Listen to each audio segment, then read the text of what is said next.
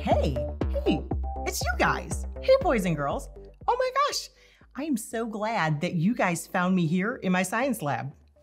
What? What is that weird? Yeah, I have a science lab. When I'm not teaching you guys on Sunday, I come and I do work in my science lab. It Kind of makes me relaxed and and let's face it. I mean, if you think this is weird, like you obviously haven't been anywhere else this week because this week has been weird. This has been a really weird week. I went to Walmart the other day. There was no toilet paper or chicken. Who needs a whole lot of toilet paper and chicken? That's weird. And then, oh my gosh, and then you guys used to go to school. None of you go to school anymore. You're all homeschooled. That's weird. If you don't think that's weird, go ask your mom. It's really, really, really, really weird. And you guys are probably bored because you used to go outside and play with your friends. And now you can't go play with your friends. Now your mom's like, go play video games. That's weird. This week is weird. And usually you guys see me at church and we're not at church. I'm in my science lab and you're in your living room, and that's weird. I miss you. I miss you. I miss you. I miss you. But I am so happy that you are here with me right now. And I can't wait. I can't wait to share some stuff with you. Yeah. Yeah. This is a real science lab. Like you don't, you don't think it's a science lab. It's totally a science lab. Oh, the box. Yeah, the box. I just got these boxes today. Maybe, maybe if we can get through this other stuff, then we'll, uh, maybe we'll open this. It is explosive though, so we have to be careful. Can you be careful? We're gonna be super duper careful and maybe we'll get to what's in the box. So this morning I was reading my Bible. I was reading my Bible because I love to read my Bible, especially when things are weird. Like I was reading my Bible and it said something really cool. In Proverbs chapter 3, verse 5, it says, Trust in the Lord with all your heart. And I was like, God, that is good because when things are weird, sometimes we get nervous or sometimes we get scared or sometimes we just want to know what's going on and we don't really totally know what's going on. So it says, trust in the Lord with all your heart and do not depend on your own understanding. I was like, hmm, okay, well, I definitely don't understand what's going on this week. I don't think you guys understand what's going on this week. I definitely don't know what's going to go on next week or the week after that. I don't know when you guys will be back in church with me, but I know that I don't have to understand, that I'm going to trust in God and what He says, and that I don't have to lean on my own understanding. And then when I kept reading, when you go down to Proverbs 3:19, oh my gosh, it gets even better, you guys. It says, by the wis or by wisdom, the Lord laid the earth's foundations. We've been talking about foundations in children's church. I love it. So through understanding, he set the heavens in place. By wisdom, the Lord laid the earth's foundations. Through understanding, he set the heavens in place.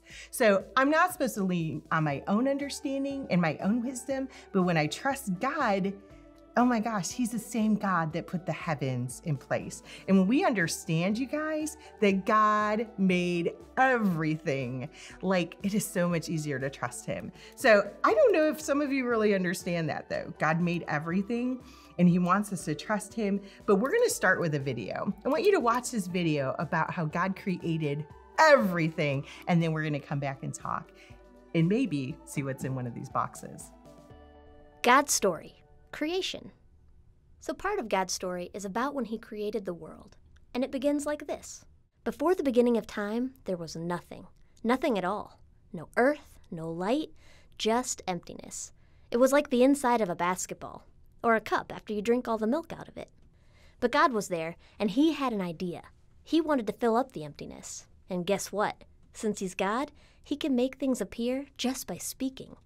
It's like if you could say, let there be a roller coaster! And then any kind of roller coaster you wanted just appeared. So, in the middle of nothing, God said, Let there be light. And the darkness was filled with light. Now, we know what light is, but remember, it had never existed before. Everything God made was brand new. So it was probably like when you're asleep and someone comes in the room and flips on the lights. Except there were no people yet. God was creating a world for them first. Anyway, light was the first thing God made. He called the light day and the dark night. He made a huge space above water and called it sky. Then he gathered all the water, separated it from dry ground, and called it sea. He called the dry ground land. God called it all good. He thought what he had made was pretty sweet. But he wasn't done yet. All that land was still bare. So God made plants oak trees, palm trees, evergreen trees, grass, roses, sunflowers, and every other type of tree, bush, flower, or plant, including the ones we eat, like broccoli and Brussels sprouts. Then God looked at all the plants and called them good. Kids, that includes vegetables. After plants, God created the sun to shine all day and the moon to shine at night. He sprinkled twinkling balls of light in the sky and called them stars. And guess what? He called that stuff good too. Next, God filled the water with fish and whales and sharks and squid and every other sea creature. He filled the sky with flapping, chirping, squawking birds. And what do you think he called the fish and birds? Yep, good. Even though sometimes birds poop on our heads. Now there were fish and birds, but still nothing but plants on land. So God said, Let there be animals. And animals of all kinds came crawling, scurrying, snorting, stomping, and racing across the dry ground. And just like everything else, God called the animals good. God was almost done, but he had one more thing to create that he had imagined from the very beginning when the earth was still empty people. And he was going to love this creation more than anything else. See, the land and sky and animals and plants were beautiful, but none of them are as precious to God as we are. So finally, God created Adam. But God soon saw that Adam needed one more thing a family. So God created Eve. And God's plan was for the two of them to have babies and live in this perfect world forever. No hunger, no sickness, no sadness, no loneliness, no dying. God took care of their every need like a loving father. It was perfect. God loved all his creation. Remember, he had called it all good. But when he looked at Adam and Eve and felt such a strong love for them, he called everything he had made very good. Then he rested to enjoy his perfect world. And that's the story of creation. So, in case you missed it, here's the quick version The earth was empty. God made light and dark. God made the sky and seas. God made plants and fish. God made birds and animals. He said all this stuff was good. Then he made Adam. Adam needed a family. So God made Eve. God called everything very good. Then God rested. And that's a part of God's story. Welcome back. Oh my goodness. What? Why am I dressed this way? Well, it's not because of any virus. That'd be weird. I'm dressed this way because we're about to do some science. I opened up my explosives box and this is what was inside. Okay, you guys, wasn't that a great video? God made everything. I just thought when I was watching that, was probably pretty weird the first time that God made a hippopotamus or a cactus or a banana. Never thought bananas were weird until now, but are you guys ready? Are you ready to do some science? Okay, I kind of read some of the directions. I didn't read all of the directions. Basically, though, it's explosive, like I think, because the box says it's explosive. And then there are these bottles. So I put the liquid in the bottles, and then there's these explosive tablets that were supposed to drop into the bottle. So I think there's two in a pack and I thought, you know what? Let's use four. you want to use four? Okay, all right. We use four. Oh, let's use four. All right. And then I think we're supposed to break these and then we're supposed to put them into the bottle.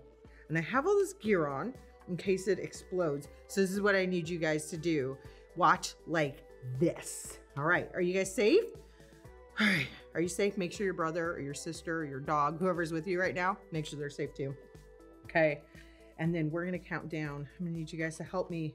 I'm gonna see if we can make an explosion happen. All right, Let's see, I'm pick up as many of these things as I can. We're gonna drop them in the bottle. Okay, we're gonna count down from five. Five, four, three. Who I'm nervous. I'm nervous. Are you nervous? I'm not nervous. I'm not nervous. I'm not nervous. Okay, three, two, one.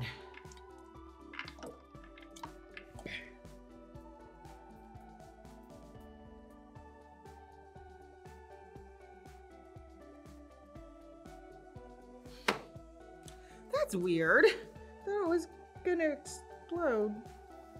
It's doing something. It's not doing very much though. I didn't really read the I didn't really read the instructions. Maybe maybe I could read I mean it's bubbly. smells bad. I guess I could read the instructions. Alright. So it says here the two good thing I, I have extras. It just put the two.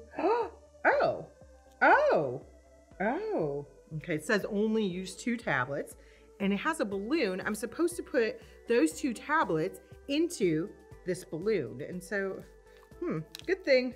I think i have an extra bottle. Let's see let's see what happens. I would really love if this could explode. It's been so boring around here lately without you guys here and then all my favorite stuff to do is closed and so i thought you know i'm gonna come to the to the lab and have some fun. But this experiment hasn't been any fun. All right. So let's see. I put them in the balloon. Check. All right. Then it says to put the balloon over top of the bottle. Huh. I would have never, ever thought to put the balloon over the top of the bottle.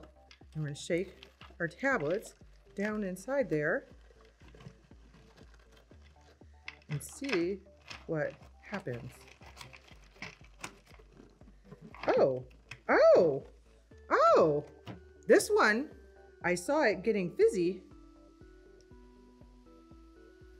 Oh my goodness, look at the balloon. Oh, oh.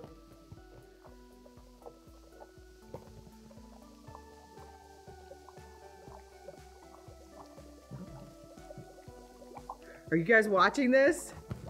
This is pretty cool. I didn't know. Whoa, that was weird. It actually blew off of the table. I had no idea, no idea that that was about to happen. You guys, how cool was that? When we were looking at this bottle, we saw what we thought we saw in the bottle. We saw the bubbles happening and we saw it didn't look that impressive. Yeah, it was kind of like so-so. But when we followed the directions and we looked at this balloon, the cool part of the experiment wasn't actually what we could see happening in the bottle. It was the part that we could not see. And so the balloon, it trapped the gases that was coming up from all the bubbles. And that was actually the really coolest part of the experiment. Did you guys know that God is kind of like that? Sometimes we focus on what we can see. We focus on the weird things around us. We see a hippopotamus, we're like, that's weird. We see a cactus, we're like, that's weird. We see coronavirus, we're like, that's really weird. We're home from school, that's weird. All these weird things are happening, and we focus on those things, you guys. But God is everywhere. He's like the gas in this balloon. When we weren't looking for it, we couldn't even see it. But when we looked for it, oh my gosh, I see evidence of God all around us because He created everything. How cool is that? So we know that God created everything and we know that He is everywhere. And that reminds me, you guys, it reminds me of a verse that I read this morning in my verse of the day on my computer. It said, So do not be afraid. I am with you. Do not be terrified. I am your God. I will make you strong. I will help you. My powerful right hand will take good care of you. I always do what is right. That's in Isaiah 41:10 in our Bibles, boys and girls. How encouraging is that? You know what? I'm so excited right now. That is so cool. it's so good. When we started today, I was like, man, today is really, really, really weird. It's really, really weird. But when we focus on God's word, we focus on what he's done, that he made everything, including you and me. We focus on that he is everywhere. And then we know that he always, always, always does what is right. And he's fighting hard to take care of you and me, and he sees us, and he'll never, ever, ever leave us. Then I feel better. Do you feel better? I definitely feel less weird. You guys, I have a verse that we can learn this week. And if we memorize this verse, it reminds us to focus on what is good and all of the good things that God has done. Are you guys ready to learn a verse? Have you been sitting still long enough? So, this is what I need you to do I need you guys to stand up. Some of you aren't standing up. Stand up. Stand up. Tell your mom, your dad, your cousin, whoever's next to you right now, tell them to stand up. You guys stand up, and we're going to learn this verse together.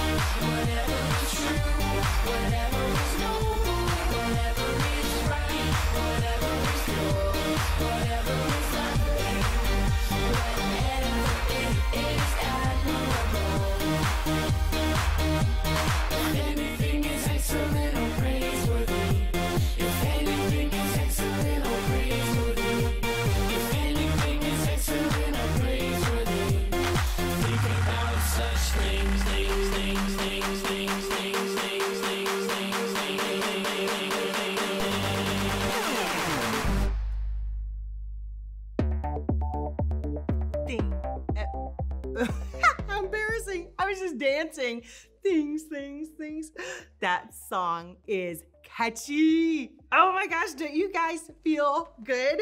Today started out weird, but I am so excited. I'm so pumped right now. You guys, let's review everything that we have learned today. So, first, we know that God created everything. God created the plants, He created the trees, He created birds, He created cactuses, He created you. We know that God is everywhere. Even though we can't see Him, we know He is there. And the very best part, you guys, He is looking out for us. And God always does what is right. So, you guys, even though things seem kind of weird right now, know that God is with you. He loves you. I love you. I miss you. I miss you. And I cannot wait for you guys to come back to church. Ah, I'm praying for you guys that this is over super duper duper soon. But I have a challenge for you this week. I have a challenge for you because I believe that if we memorize scripture and we hide it in our heart when things are weird for us, you guys, then we go to that, we remember it, we, we pull it out. The Holy Spirit reminds us of those words and we can use them and that we can be encouraged and we can encourage others. So, my challenge to you guys this week is to memorize Philippians 4 8. So, go back to that song. You can watch this video and use the hand motions. You feel silly dancing, but memorize Philippians 4:8. You guys, we're going to come back together on Wednesday. Everybody say Wednesday. Wednesday at 2 p.m. on NH Kids Facebook. On our NH Kids Facebook, I will be live, live, live, live. So I'd love for you guys to hop on. We'll talk about today's lesson. We'll talk about how your weeks are going.